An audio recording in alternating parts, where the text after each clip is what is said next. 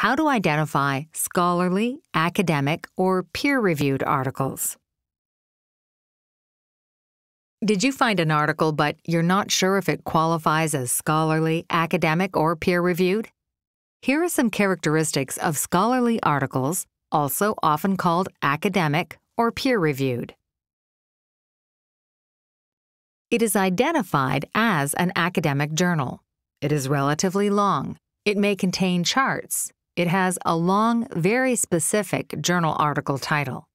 It has an abstract, a summary of the article at the beginning. The abstract might be divided into sections that mirror the article's format.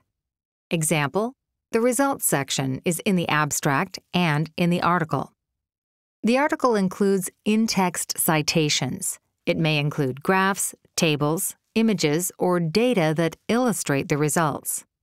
There is an extensive reference list or bibliography. The article also includes author affiliations and qualifications.